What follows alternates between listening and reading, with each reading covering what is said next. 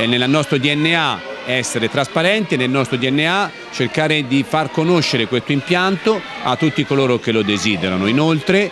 zero spreco significa ridurre consumi, ridurre consumi in un momento come questo è chiaro che è fondamentale, si deve come sempre partire dalle generazioni più giovani, cioè dal futuro. I piccoli studenti di Arezzo tornano a visitare l'impianto di San Zeno le due giornate dedicate al progetto Zero Spreco tornano appunto all'impianto di AISA dopo i due anni di stop dovuti alla pandemia. Oltre 400 i bambini e i ragazzi dalla scuola dell'infanzia alla primaria alle scuole medie che saranno impegnati in attività e giochi. Ripartiremo anche con il progetto della gara dei cervelli che facemmo prima del, del Covid, abbiamo intenzione di ripartire. Ripartiamo con tutte le nostre iniziative. Oggi è il primo di una due giorni dedicata ai ragazzi, oggi ci sono i più piccoli, domani ci sono quelli un po' più grandi, delle medie, poi andremo il pomeriggio di domani andremo a quelli ragazzi un po' parecchio più grandi perché andremo a fare dei convegni per ingegneri e per medici, di conseguenza si passa a categoria. E il nostro interesse è quello di far conoscere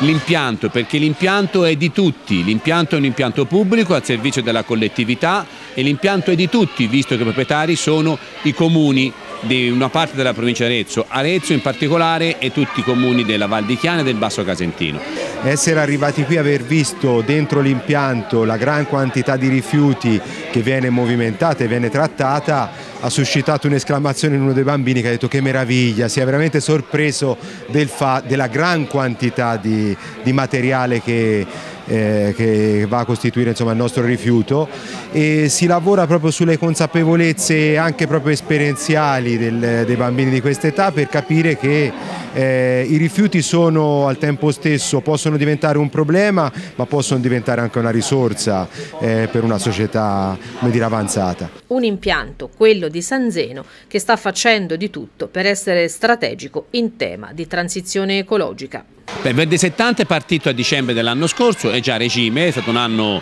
abbiamo dato una grossa mano a tutta la collettività da quel punto di vista, le raccolte differenziate si possono fare se ovviamente vi sono gli impianti, ma prima si devono fare gli impianti e poi le raccolte differenziate, non l'opposto. Ad Arezzo è stato fatto così, l'impianto per l'organico ormai è pronto, è attivo da un anno, ha dato la possibilità a tutti i comuni della provincia di poter fare tutte le raccolte differenziate che hanno voluto relativamente all'organico. Passa fatto quello, stiamo realizzando l'impianto di gestione anaerobica anaerobica per la produzione di biometano. Dal prossimo anno saremo in grado di dare 100.000 pieni di un'auto di piccola cilindrata con metano che produciamo grazie all'organico che deve essere raccolto in maniera differenziata perché tutto parte da una buona raccolta differenziata e poi partiremo ovviamente con l'efficientamento della linea di recupero energetico che è già iniziato e che finirà fra, fra circa un anno, ma è già stato iniziato per poter, perché sono processi lunghi e le prime attività relativamente al trattamento dei gas di combustione sono già state realizzate.